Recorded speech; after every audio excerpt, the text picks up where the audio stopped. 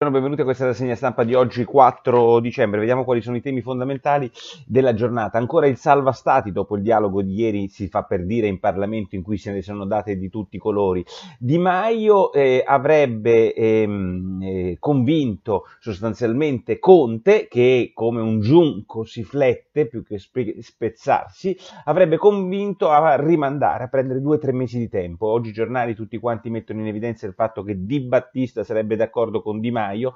Io non riesco a capire bene qual è il grande senso politico di questa cosa, non perché abbia nulla contro l'uno o contro l'altro, ma perché Di Battista, fino a prova contraria, è un signore che fa le villeggiature in giro per il, il mondo, eh, legittimamente ovviamente, e non è tanto, eh, non esiste ancora un partito lì, e sarebbe un po' diverso se fosse d'accordo con lui Grillo, però a tutti noi piace questa idea che Di Battista ha risposto a un, a un, un post di Facebook, perché in realtà il non detto è che Di Battista è a capo di una corrente evidentemente minoritaria all'interno del Movimento 5 Stelle anti di Maiana, quindi il fatto che siano d'accordo contro Conte è una roba importante. E oggi vi segnalo che sul, sul, sul salva stati c'è l'ultima riga, l'ultima riga in cui il Corriere della Sera parla con Regling, che è il direttore di questo fondo salva stati, e all'ultima riga, ultima del Corriere della Sera, c'è scritto il motivo per il quale molti di noi sono preoccupati riguardo non alla modifica di questo fondo salva stati, ma all'esistenza stessa di questi meccanismi europei, perché il direttore del MES, ultima riga del Corriere della Sera, toc toc, Regling dice errore di 30 anni fa, fatto con Basilea 1, dire che i titoli di Stato eh, dei paesi eh, europei non abbiano eh, alcun rischio e quindi non assorbano capitale. È una cosa un po' complicata, ma questa è la grande paura di tutti i banchieri italiani, di tutti quanti i politici avveduti italiani, e cioè che siccome 400 miliardi di soldi di debito pubblico italiano sono in, man- in mano alle banche, se quello che dice Regling, che è il direttore del fondo salva stati, e cioè che i titoli di Stato non devono essere considerati a rischio zero nei, nei, bilanci delle banche, a noi ci fanno un mazzo così. Avete capito cosa pensa il direttore? Cioè noi può piacere o non piacere il fondo salva stati, ma il suo direttore fa terrorismo finanziario nei confronti del nostro debito, magari anche legittimamente, ma lo fa.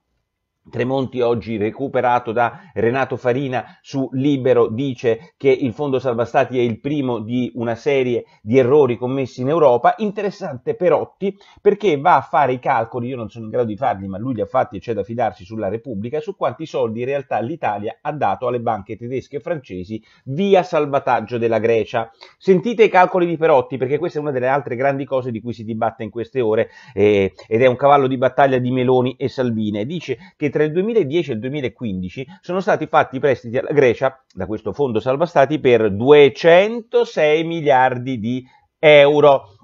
Di questi 206 miliardi, 56 miliardi sono finiti alle banche dell'Eurozona quindi non 200 miliardi alle banche, ma 56, che mica sono pochi, sono quella sessantina di miliardi forse di cui parla Borghi ogni tanto, ma in realtà i 60 miliardi che sono finiti alle banche dell'Eurozona, soltanto si fa per dire 36 alle banche franco-tedesche. Quindi, primo dato, quanto sono finiti alle banche euro-tedesche? Il salvataggio alla Grecia ha comportato 36 miliardi finiti alle banche franco-tedesche. Ma c'è da dire qualche cosa, dice Perotti, che in realtà di questi 36 miliardi soltanto una parte è stata pagata dall'Italia, perché l'Italia non è azionista al 100% di questo fondo, ma al 18%. Quindi, dice Perotti, la nostra quota di aiuti alle banche, semmai franco-tedesche, è 6,5 miliardi. Perotti conclude dicendo che anche alcune banche italiane erano esposte sulla Grecia e anche loro sono state ristorate dei loro crediti e quindi il contributo netto italiano è stato di 3 miliardi, che comunque non è poca roba. Cioè questo fondo salva stati ha aiutato le banche tedesche per 6,5 miliardi, soltanto per quota italiana, per quota europea 36 miliardi. Insomma, io direi che qualche vantaggio le banche franco-tedesche le hanno avute, anche se non è così grande come quello che dicono Salvini e Meloni e, Der- e e, e, e, Borghi nelle loro, eh, diciamo, inveterate. Però anche prendendo i dati di, di, di, di, Perotti mi sembra che ci sia stato questo aiuto. Del Rio dice oggi a Repubblica, ministro pesante, ma uno di quelli che sempre, insomma, la, la spara, eh, Di Maio ci ricatta e il PD non teme elezioni. Eh, Ferrara eh, invece ha una posizione diversa oggi sul fatto e dice bisogna denunciare il bluff di Di Maio, non può fare campagna ehm, eh, diciamo ehm, una, campagna, una campagna elettorale perché, anti-europea perché comunque la concorrenza di Salvini sarebbe molto più forte. Quindi Di Maio in realtà ha un bluff senza punti in mano. Questa è la teoria di Ferrara. Non c'è e non ci sarà mai una convivenza strategica, dice però anche Ferrara, tra PD e Movimento 5 Stelle. Toc toc! Ferrara, ma non eravate voi quelli che ci spiegavate che il PD avrebbe migliorato il Movimento 5 Stelle e che questo governo era, diciamo, la cosa migliore che si potesse immaginare? E oggi ci spiegate finalmente quello che noi avevamo capito forse meno politologi, scriviamo meno bene, qualche mese fa, che la fusione tra Movimento 5 Stelle e, e, ehm, e questi qua è una cosa da pazzi. Vabbè, eh, intanto noi che abbiamo recuperato il ruolo europeo grazie al PD, grazie ai nostri ministri, oggi vengo a scoprire che nel vertice eh, nato di ieri, in cui ci si vede con la regina, il principe Carlo, le, le solite foto di rito e tutto quanto, beh, insomma, c'è stata l'unica cosa che poteva essere interessante, una riunione sulla Libia a cui hanno partecipato Francia, Germania, Turchia e Regno Unito e l'Italia non ci stava. L'Italia ieri alla riunione non c'era, alla riunione per il futuro della Libia. È vero che lì decide tutto Trump e oggi si vedrà Conte con Trump, però insomma l'idea che l'Europa abbia fatto fuori l'Italia dalla riunione sulla Libia dà il senso di come questo governo europeista porta a casa sempre un risultato. L'altra eh, vicenda che noi a Quarta Repubblica abbiamo raccontato più volte è quella dei migranti che sulla carta vengono presi dai tedeschi Cazzate! Scusate, scusate, scusate, cavolate, cavolate. Oggi due giornalisti, diciamo, di un network internazionale di giornalisti d'inchiesta sul fatto ci spiegano, sono andati a vedere cosa, dove sono finiti i tedeschi eh, eh, che avevano promesso di prendere sei mesi fa i profughi che Carola Racchete, l'eroe dell'Europarlamento, ha portato con tanto sprezzo del pericolo, cercando di uccidere dei finanzieri in Italia. Beh, insomma, l'applauso a Carola Racchete, brava, di tutto il Parlamento europeo, compreso, immagino, gli europarlamentari tedeschi. Zero! Li hanno individuati gli 11 eh, emigranti che, sarebbe, migranti che sarebbero dovuti andare in Germania, di quei 53 di Carola Racchete, quanti se ne sono presi i tedeschi? Zero! Sono ancora là, ovviamente. Vabbè, Fantastica la cosa sulla tassa sui giganti del web, la Francia l'ha già approvata a luglio, le foto di tutti i giornali sono su Trump con un, una foto durissima proprio dall'idea di quanto siano distanti Trump e Macron nell'incontro nato di ieri con Macron che sembra seduto come un calciatore o come quelli, vi ricordate quei due... Um, nerboruti eh, uomini di colore che poi erano pare due delinquenti eh, non so di quale isole mh, mm, eh, del vecchio impero francese. Ecco quello sembra seduto come loro sul, sul, su questa sedia vicino a Trump però Trump dice ragazzi se voi vi azzardate a fare tasse sul web noi vi facciamo un mazzo così con ta- dazi in Europa. Staremo a vedere come fu- finirà questa roba qui. Poi c'è l'altra grande storia che eh, il giornale ovviamente riprende dalle Iene, e cioè il fatto che, vedete, la cosa è un po' complicata, ma in realtà Conte è diventato professore e il presidente della commissione che lo ha giudicato professore era Alpa. Molti sostengono che Conte e Alpa fossero già nel 2002 soci d'affari, più o meno, o comunque uno pupillo dell'altro, e che quindi, secondo le nuove norme anticorruzione che tanto i grillini amano, Beh, sostanzialmente sarebbe nulla quel concorso per il quale il presidente della commissione nomina il suo socio d'affari professore. No? Vi sembra anche a voi una cosa un po' strana che il socio d'affari però Conte ha detto io non ero mai stato con, ehm, associato ad Alpa, figurarsi, e le Ieni tirano fuori una fattura, una parcella, una proposta di parcella, risponde Conte, in cui Conte e Alpa firmano insieme nel 2009 questa parcella.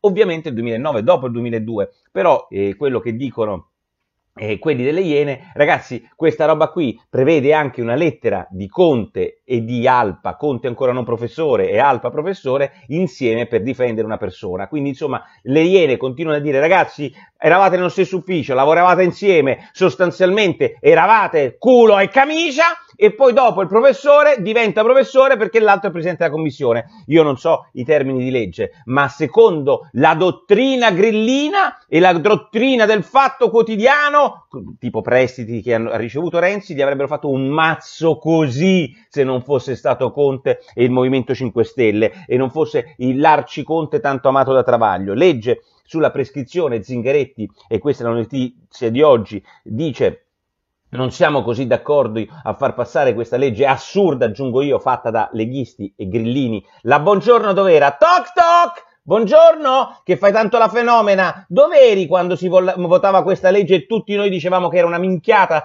togliere la prescrizione dopo il primo grado? Ma comunque oggi Renzi sul messaggero dice che saranno addirittura pronti a votare insieme a Forza Italia la legge Costa che prevede il rinvio di questa prescrizione.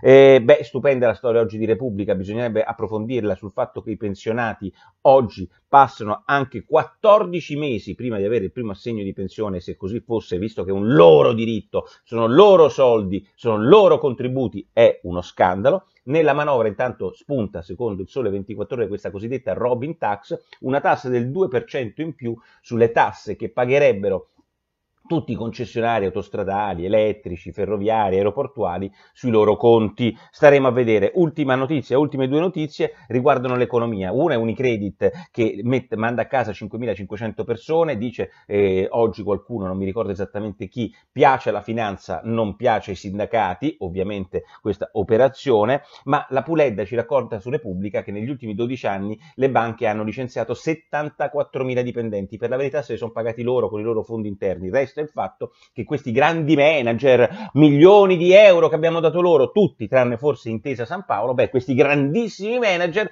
liquidati a milioni di euro dieci anni fa, cinque anni fa, continuavano a comprare sportelli e allargare le loro banche non capendo che il digitale li avrebbe distrutti. Loro ora se ne sono usciti con i loro milioni e nel frattempo dovremo affrontare le cazzate strategiche che hanno combinato tra gli applausi nostri dei giornalisti che tanto li rispettiamo. Elkan racconta oggi, chi è che lo racconta oggi? Qualcuno, forse il foglio, molto divertente, un pezzo del foglio dove essere il figlio il pronipote che eh, liquidava l'azienda di famiglia, in realtà più che chiudere la fabbrica, ha aumentato la, il suo perimetro grazie a Marchionne e soprattutto è riuscito a comprarsi quello che doveva vendere il giornale di famiglia alla stampa, si è comprato Financo, la Repubblica e quindi oggi il Can diventa e ritorna nell'editoria. I maligni sul foglio oggi sostengono, forse ha comprato Repubblica per evitare che stampa Repubblica, insomma una certa stampa italiana, possa parlare male della Fiat quando sarà costretta a chiudere fabbriche in Italia dopo l'accordo con la Peugeot. Questo è una malignità, qualcuno la sostiene, la vedremo nei fatti nei prossimi mesi. Direi che per oggi è tutto. Ringrazio i tanti amici che ieri ci hanno seguito a San Donà di Piave per la presentazione delle eh, tasse invisibili, una platea straordinaria. Eh, insomma, questo Veneto è fantastico per il mio libro. Un abbraccio a tutti quanti, ci vediamo domani con la zuppa di porro.